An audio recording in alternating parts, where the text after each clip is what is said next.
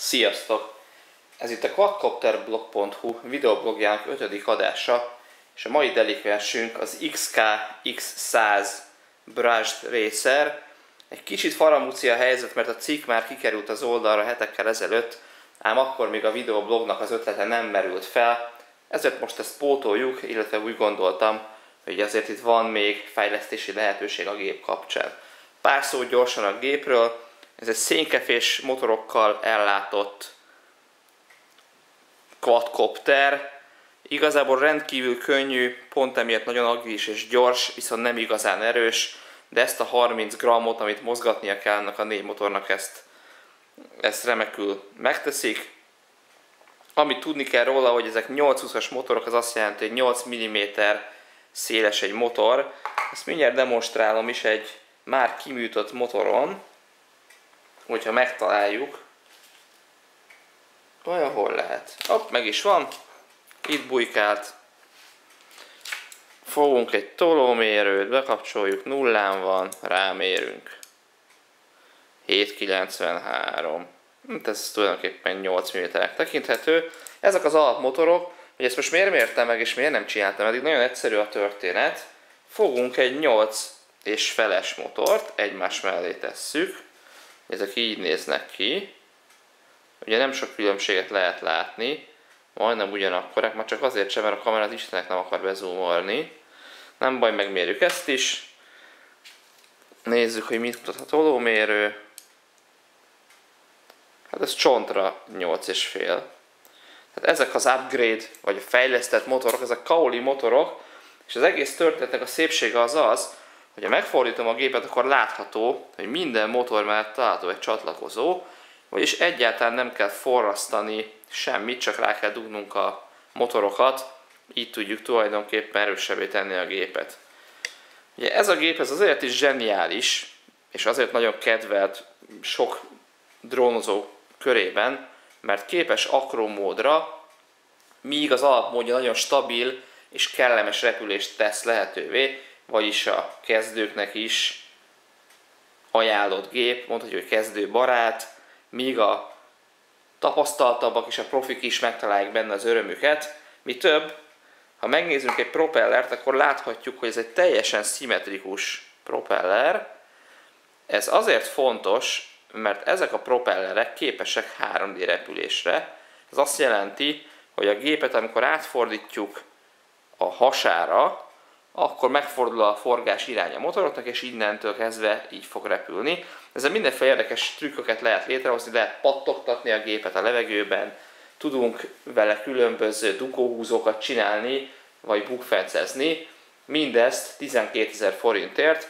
Ebben a 12 ezer forintban van benne az alaptáv, ez egy X4-es táv, erről már talán volt szó az XKX251 kapcsán, Viszont van ennek egy BNF, ez a Bind and Fly verziója, amikor nem kapunk távot, hanem nekünk kell össze párosítanunk egy távval, és ezt ide is raktam a kép oldalára, ez egy X7-es táv, ilyet adnak az XKX 251-hez többek között, de mondhatnám még a 252-t, különböző XK Innovations helikoptereket, vagy akár az X350-et.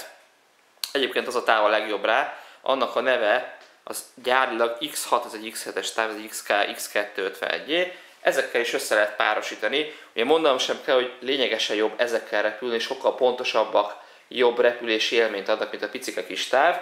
Most hogyan kell ezt megtennünk? Ezt egy nagyon egyszerű módon be tudom nektek mutatni. Fogunk egy akkumulátort.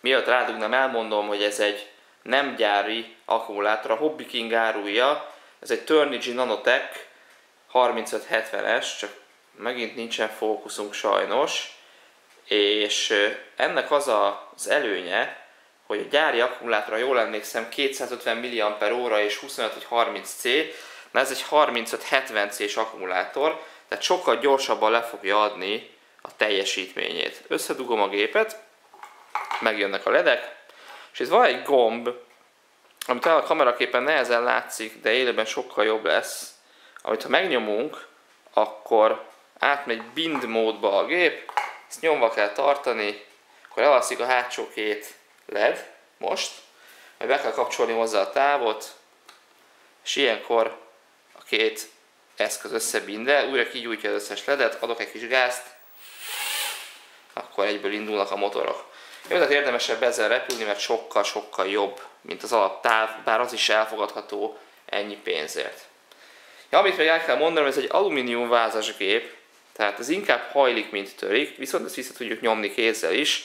Rendkívül ellenálló, normális esetben, tehát nem úgy, mint most, én ezt megbontottam, egy úgynevezett kanopi, ez egy angol szó, leginkább azt mondanánk rá, hogy burkolat fedi a gépet. Ez egy ilyen műanyag elem, nem igazán erős, inkább a kosztól véd, meg esetleg az ütéseket fogja fel valamennyire. Én eltávolítottam, nincsen semmi szükség rá, plusz súly, de aki akarja rajta hagyhatja, mert körülbelül 2 gram az egész. A gyári töltő kapásból két akkumulátor töltőhelyet kínál, én ebből egyből vettem még kettőt, hiszen nem akarok várni mondjuk fél órát, vagy akár három negyedet sem arra, hogy föltöltsem az összes akkumulátoromat, úgyhogy ezeket elkezdtem duplázni, majd triplázni. Ennek az az oka, hogy eredendően 6 akkumulátort akartam venni, de aztán különböző logisztikai okokból 8 lett belőle.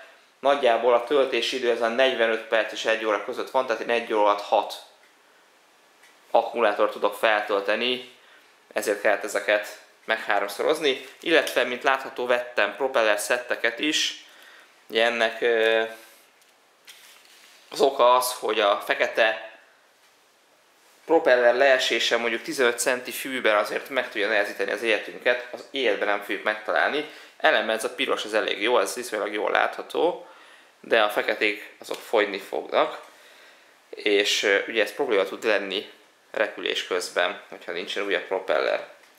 Amit még el kell mondani a gépről, hogy szerintem elbírna egy kisebb FPV kamerát, mondjuk egy icsint, ezek ilyen 5-8 grammos kamerák, és akkor FPV képessé tehető a gép.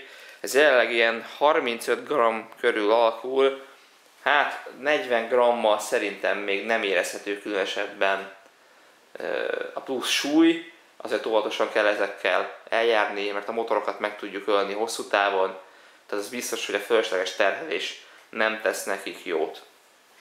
Ennyit akartam ma elmondani erről a gépről. Köszönöm, hogy velem voltatok, legközelebb folytatjuk, valószínűleg egy Icsin FPV monitorral. Sziasztok!